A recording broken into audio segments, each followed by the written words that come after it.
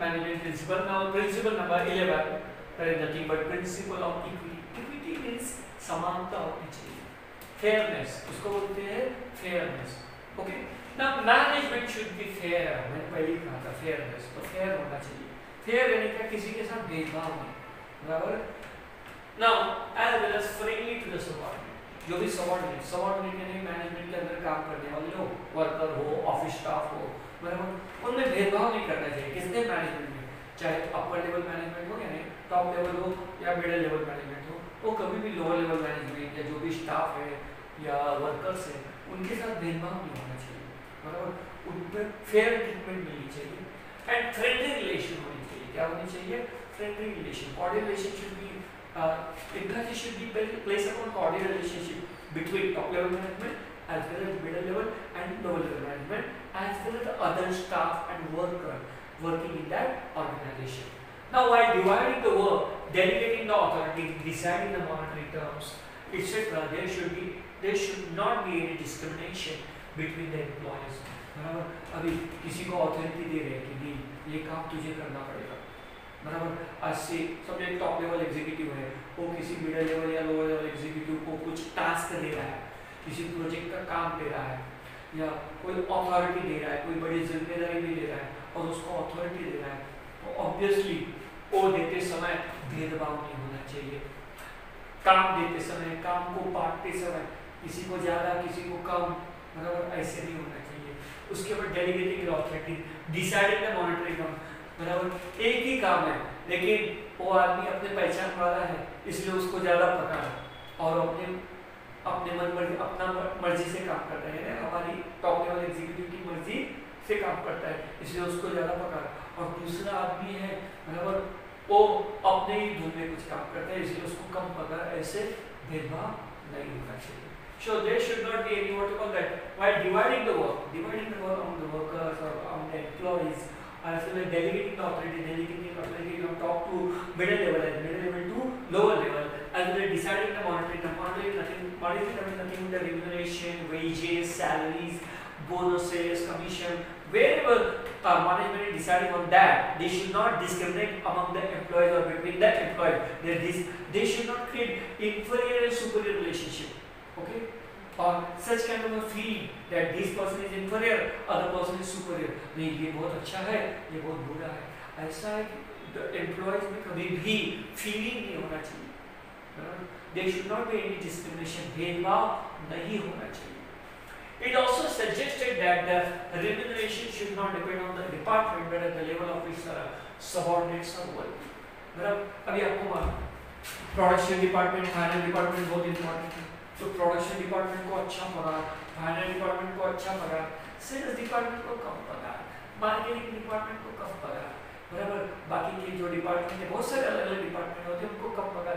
उसके ऐसे डिपार्टमेंट के ऊपर किसी एम्प्लॉयज़ का पगार नहीं होना चाहिए, बल्कि वो काम कैसे कर रहा है, उस काम का आउटपुट क्या है?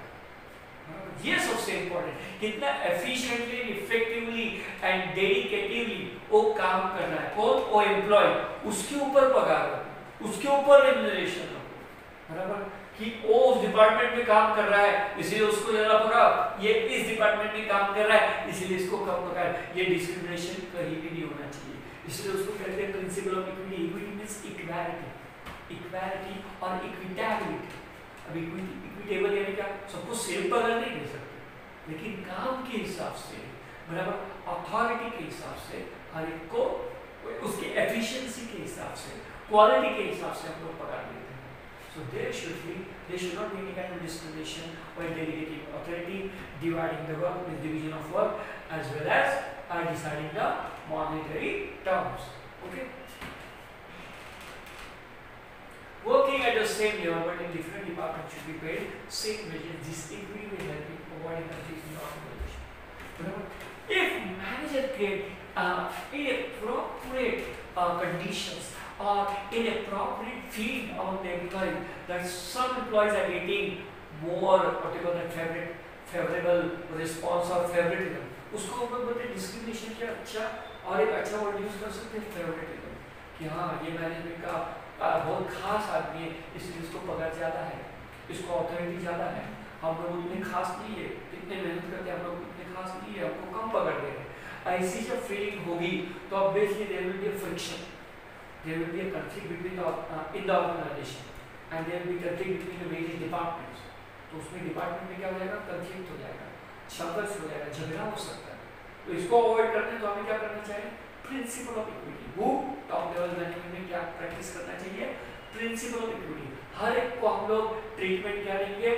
सेम फेयर इक्वल किसी के साथ डिस्क्रिमिनेशन यानी भेदभाव नहीं करेंगे। Now we will get to uh, sorry we will go to principle number 12 principle of stability of tenure. Now stability of tenure tenure यानी कितने समय तक वो काम करेगा tenure is nothing but the time. So देखो हम लोग पढ़ेंगे At the time of recruitment of employees, the management should assure them about stability of the tenure or job security. Job security, every employee is the tendency, is the inherent tendency, inherent tendency of any human being that they seek security in the workplace and especially they long for job security. बराबर हर एक इंसान चाहता है कि मेरा job secure हो बराबर यानी मेरे को कभी भी कैसे भी निकालना नहीं कंपनी वाले उनको एक जॉब सिक्योरिटी चाहिए ये जॉब सिक्योरिटी कौन एश्योर कर सकते हैं top level managers so obviously this should be done the principle of stability of tenure at the time of recruitment of employees जब एम्प्लॉयज़ को हम लोग काम पे रखते हैं या उसको अपॉइंटमेंट करते हैं उसका इंटरव्यू लेते हैं और अपॉइंटमेंट करते हैं। तब उसी समय से उस एम्प्लॉय को लगना चाहिए उस वर्कर को लगना चाहिए ये कंपनी बहुत अच्छा है मुझे ऐसे ही कभी भी निकाल नहीं देंगे यहाँ जॉब सिक्योरिटी है। Now, it plays very important role in creating sense of belongingness among the employee. Then, uh, employee will feel that I belong to this company. This company belongs to me. तब उस आदमी को लगेगा उस employ को लगेगा बराबर उस वर्कर को लगेगा कि ये कंपनी मेरे बारे में सोचती है तो मैं भी उसके बारे उनके बारे में सोचूँगा। बराबर? ये कंपनी पराई नहीं है ये मेरी है। मैं इस कंपनी में काम नहीं कर रहा हूँ। मैं जैसे मैं अपने घर में काम कर रहा हूँ। ऐसी फीलिंग एम्प्लॉय में आनी चाहिए कि मैं अपने लिए नहीं काम कर रहा हूँ मैं कंपनी के लिए भी काम कर रहा हूँ। सबके लिए काम कर रहा so insecurity job always affect efficiency of employee लेकिन समझो कॉन्ट्रैक्ट बेसिस के ऊपर आजकल रखा जाता है, उनको मालूम है एम्प्लॉयज़ को मालूम रहता है, आज रखेंगे, एक दो साल के बाद निकाल देंगे, तीन साल के बाद निकाल देंगे। वो बोलेंगे, फिर क्यों मैं मेहनत करूँ? क्यों मैं लॉयल्टी से काम करूँ? क्यों मैं डेडिकेटेड डेडिकेशन से काम करूँ? बराबर? क्यों मैं सब सब कुछ त्याग दूँ? छोड़ दो। तो उस काम में क्या होगा? इनएफिशिएंसी होगी। So, insecurity job always affect efficiency of employee. Adversely, when job security being managed employees turnover ratio.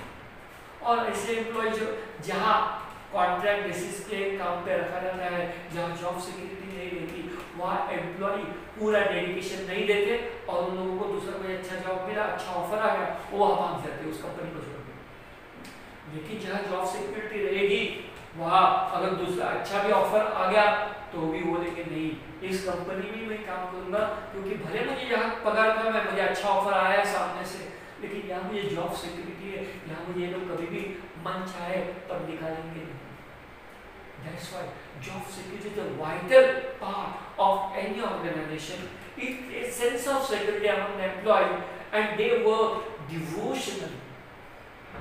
सब कुछ अपना दे देते हैं, ऐसे कंपनी में इसलिए जॉब सिक्योरिटी बहुत इंपॉर्टेंट है उसको हम लोग बोलते हैं principle of stability of tenure job security short में क्या बोलते हैं? Principle of stability of tenure now we go to principle number 13 principle of initiative अभी इनिशिएटिव में क्या? कि आगे आके डिसीज़न लिया हर एक एम्प्लॉय को, हर एक मैनेजर को खुद ब खुद आगे आके, खुद ब खुद हम लोग बोलते हैं इनिशिएटिव लेना चाहिए, आगे आना चाहिए, आगे आके डिसीज़न लेना चाहिए, आगे आके काम करना चाहिए। उसको बोलते हैं principle of initiative Now, initiative refers to the voluntary to do the work in an innovative way. और सिर्फ़ आगे आगे काम करना नहीं बल्कि एक लीडरशिप रोल लेना चाहिए लीडरशिप रोल एज्यूम करना चाहिए और कुछ नए ढंग से काम करना चाहिए Now, the freedom to think and work on a new idea encourages employees to take initiative, sorry, to take initiative while working in task. लेकिन उसके लिए टॉप लेवल मैनेजमेंट पर अपनी फ्रीडम भी देना चाहिए टॉप लेवल हो मिडल लेवल हो, उन्होंने हमेशा क्या देना चाहिए? फ्रीडम देना चाहिए। अगर हर बार मुझे टॉप लेवल एग्जीक्यूटिव को समझो मैं एक लोअर लेवल मैनेजर हूँ, या लोअर लेवल एग्जीक्यूटिव हो, बराबर, और हर बार या सुपरवाइजर हो, या फोरमैन हो, और हर बार मुझे डिसीज़न लेते समय मुझे पूछना पड़ेगा, भाई मिडिल लेवल मैनेजर को टॉप लेवल मैनेजर को, ये करूँ क्या मैं? ये काम मैं कर सकता हूँ क्या? ये मैं डिसीज़न ले सकता हूँ क्या? तो ये मुश्किल है। वो एम्प्लॉय पूछने नहीं जाएगा, वो इनिशिएटिव नहीं लेगा, वो कभी आगे नहीं बढ़ेगा। और कंपनी भी उसके कारण आगे नहीं बढ़ेगी। इसीलिए ये फ्रीडम होना चाहिए। कोई भी कंपनी में क्या होना चाहिए? फ्रीडम होना। There should be freedom in the company to think and to take decision on your own. And this freedom mean but a delegation delegation of authority. इसका मतलब क्या? अथॉरिटी सबको देना चाहिए। टॉप लेवल ऐसा नहीं बोलना चाहिए, सब मैं ही डिसीज़न उन्होंने मिडिल लेवल को अथॉरिटी देनी चाहिए। मिडिल लेवल में ऐसा नहीं होना चाहिए कि मैं सब डिसीज़न लूँगा, बल्कि उन्होंने लोअर लेवल को देना चाहिए। लोअर लेवल में भी वर्कर्स को कुछ ना कुछ डेलीगेशन ऑफ़ अथॉरिटी देना चाहिए। इसलिए इससे क्या होगा? वर्कर्स को भी लगेगा कि हम लोग अपने कंपनी में काम करते हैं। जैसे हमारे घर में हम लोग डिसीज़न लेते हैं वैसे ही एम्प्लॉय जो है वर्कर जो है वो कंपनी में खुद डिसीज़न लेंगे खुद इनिशिएटिव लेंगे खुद एक लीडरशिप एज्यूम करेंगे और इससे कंपनी का बहुत फ़ायदा होगा वो कंपनी आगे बढ़ेगी उसको ही बोलते हैं principle of initiative so by manager including through thorough discussion in those ideas initiative should be welcomed by the manager through discussion now this initiative should be welcomed by the manager including thorough discussion on those new idea समझो किसी employ new idea लाया उसके समझो कोई भी कोई भी चीज़ के लिए, कुछ नया कल्पना नई आइडिया उसने लाई है तो उसको वेलकम करना चाहिए। कोई भी मैनेजर हो, चाहे टॉप लेवल हो मिडिल लेवल हो लोअर लेवल हो, कोई एम्प्लॉय अगर कुछ आइडिया लेके आता है तो उनको हमें स्वीकार करना चाहिए वेलकम करना चाहिए कि अच्छा है। बराबर it also is creating healthy organisational culture तो ऐसा जो कल्चर होता है, वो बहुत हेल्दी रहता है। किसके लिए? ऑर्गेनाइजेशन लिए कोई भी कंपनी के लिए ऐसा हेल्दी ऑर्गेनाइजेशन कल्चर होना ज़रूरी है। नाउ लास्ट है 14th principle principle of esprit de corps actually esprit de corps से जो है, ये फ्रेंच वर्ड है। मैंने ये यूज़ किया मैंने पहले बोला था हेनरी फायोल क्या था? फ्रेंच माइनिंग इंजीनियर और फ्रेंच था फ्रेंच इंजीनियर था। तो इसलिए वो फ्रेंच वर्ड को जिसने इस्तेमाल किया। देखो principle of esprit de corps team work team work होना चाहिए। जैसे आप देखते हो Indian cricket Indian cricket team होती है अपनी, बराबर टीम इंडिया बोलते हैं, बराबर, उसमें अगर हर हर एक जो बैट्समैन है बॉलर है, जो भी है प्लेयर्स है और अक्सर नहीं, मेरा फ़ायदा क्या है? बराबर, या मैं ही सेंचुरी मारूँगा बाकी इंडिया हार गई तो भी चलेगा। ऐसे अगर करके वो लोग खेलेंगे तो क्या होगा? इंडिया सचमुच में हर एक मैच में हार जाएगी। इसमें क्या है? कलेक्टिव वर्क होता है। वैसी ऑर्गेनाइजेशन में कंपनी में भी कलेक्टिवली काम होता है। अकेला कोई भी टॉप एग्जीक्यूटिव हो लोअर लेवल हो मिडिल लेवल हो टॉप लेवल हो, मैंने खुद डिसीज़न हर एक डिसीज़न खुद नहीं लेकिन डिसीज़न लेते हैं, लेकिन सबको पूछ के लेते उसको बोलते हैं टीम उसको बोलते हैं टीम वर्क वो लोग डिस्कस करते हैं, कोई भी मैटर इम्पोर्टेंट मैटर है अर्जेंट मैटर है, वो लोग डिस्कस करते हैं हर एक के साथ। हर एक के साथ वो शेयर करते हैं। उसको बोलते हैं टीम वर्क मिलके काम करते हैं अकेले अकेले खुद का सिर्फ़ सेल्फिश यानी स्वार्थी बन के काम नहीं करते हैं। मैं काम करूँगा तो मुझे ज़्यादा पगार मिलेगा, मुझे ज़्यादा फ़ायदा मिलेगा। ऐसे सोच के काम नहीं करना चाहिए। ये कोई भी एम्प्लॉय हो ओके सो देखो now Henri Fayol has given entirely on the team work Henri Fayol भी कहता था कि टीम वर्क सबसे इंपॉर्टेंट है। टीम वर्क में ही काम होना चाहिए और हर एक एम्प्लॉय ने टीम में ही काम करना चाहिए। अलग अलग आइसोलेशन में अलग अलग काम नहीं करना it because mean union is strength सब लोग एक साथ होते ना अगर पाँच उंगलियाँ मिल जाएँगे तो क्या बन जाती है? मुट्ठी बन जाती है वो तो ताकतवर बन जाती है। लेकिन एक एक उंगली अकेली अगर काम करने लगी, लड़ने लगी तो क्या हो जाएगी ये कमज़ोर गिर जाएगी वैसे कंपनी में भी टीम वर्क होना चाहिए। अगर यूनिटी है तो यूनिटी उनके लिए स्ट्रेंथ बन जाएगी, और टीम वर्क उनके लिए उस कंपनी को आगे लेके जाएगा। Now running sorry running any organisation is group activity कोई भी कंपनी को चलाना आगे बढ़ाना ये ग्रुप एक्टिविटी है। सीरीज़ में टॉप लेवल ये होता है बड़े बड़े कंपनी के मालिक ही देखते हैं ऐसे कभी नहीं हो सकता। ये सब टीम वर्क है। इसमें हर एक top level lower level middle level worker सब कुछ सब एम्प्लॉयज़ इसमें इसमें क्या होते हैं? शरीक होते थे पार्टिसिपेट नाउ और ये group activity and human resources are the valuable as देखो फाइनेंशियल रिसोर्सेज इंपॉर्टेंट है।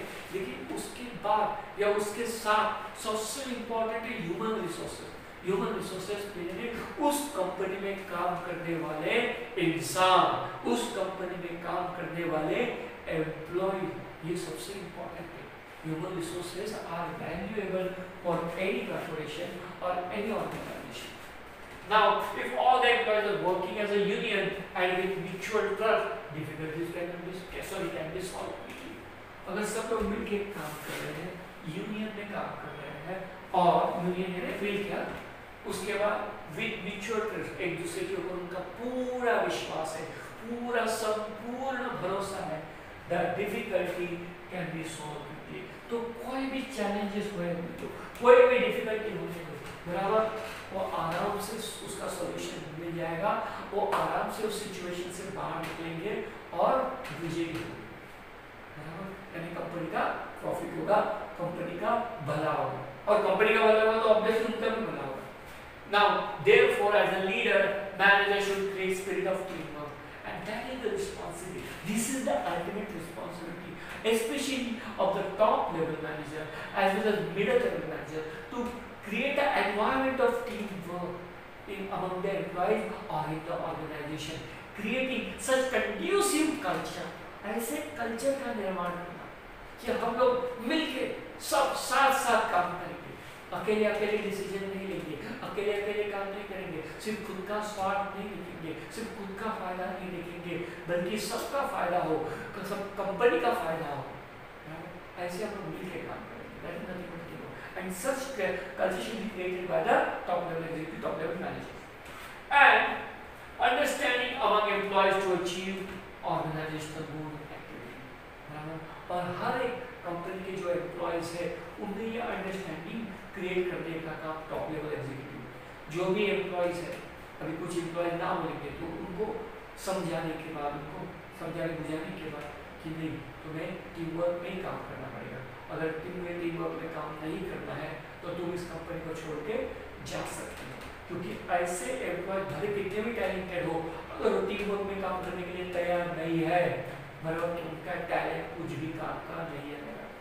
इससे कंपनी का लॉन्ग टर्म में नुकसान होगा।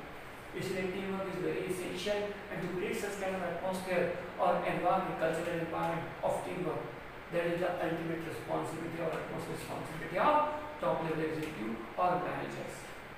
Now, understand we're going to achieve organizational vision. About 14 principles Henry Fayol are very useful to manage organization efficiently and effectively. ये 14 principles है ये बहुत important है बराबर सिर्फ़ एग्ज़ाम के व्यू में ही अपने रोज़मर्रा के जीवन में भी यानी तुम भी कभी ना कभी बराबर पढ़ाई के बाद कोई भी कोई कंपनी में काम करोगे या खुद का एक प्रोफेशन या बिज़नेस शुरू करोगे तब ये फोर्टीन प्रिंसिपल बहुत काम आए हेनरी फाइव बराबर तो ये हेनरी फाइव जो है कंपनी के लिए बहुत यूजफुल है। कोई भी कॉर्पोरेशन के लिए बिज़नेस के लिए बहुत यूजफुल है। तो मैनेज ऑर्गेनाइजेशन एफिशिएंटली कोई भी कंपनी का मैनेजमेंट संभालने के लिए, अच्छे तरह से संभालने के लिए, अच्छे ढंग से संभालने के लिए, ये फोर्टीन प्रिंसिपल बहुत काम आते हैं। These are also supported to functions of management बराबर कोई भी मैनेजमेंट के फ़ंक्शंस के लिए सपोर्ट करने के लिए फोर्टीन प्रिंसिपल्स बहुत काम These principles are very logical. और ये ऐसे तैसे किसी ने बनाया नहीं है। मन में आया, लिख दिया। मन में आया, बना दिया। यहाँ लॉजिकल उसके पीछे बहुत लॉजिक लगाया है। और ये logical principles and therefore I think in modern management और आजकल के मॉडर्न जमाने में और मॉडर्न मैनेजमेंट के युग में भी ये प्रिंसिपल्स रिपोर्टिंग प्रिंसिपल बहुत इंपॉर्टेंट है और लागू होते हैं। इसलिए ये प्रिंसिपल्स पढ़ो। Thank you student you